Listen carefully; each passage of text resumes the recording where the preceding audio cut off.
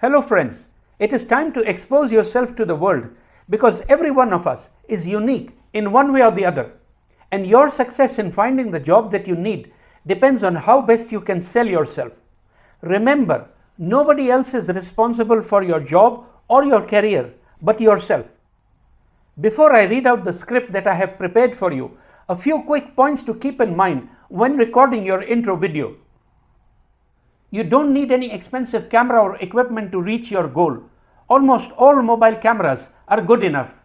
I prefer if you send me a landscape recording, also known as 16 by 9, instead of the TikTok vertical video. Please remember that the sound quality is as important as the video quality, so make sure you're in a quiet background. There are five main points that you need to cover in your video your name, your location, your profession, your experiences and special skills that you possess, and finally, what you are looking for.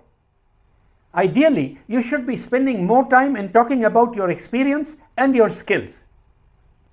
With that said, let me record a sample video for you all to follow.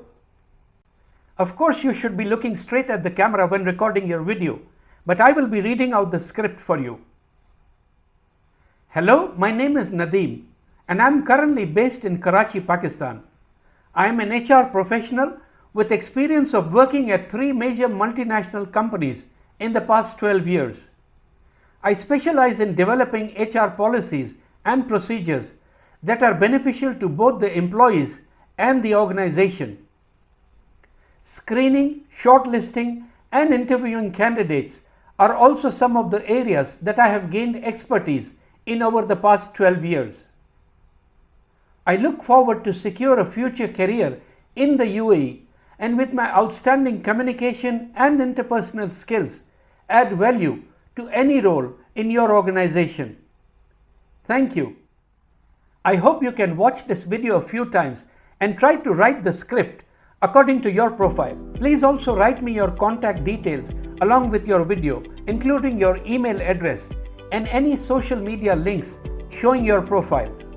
Thank you.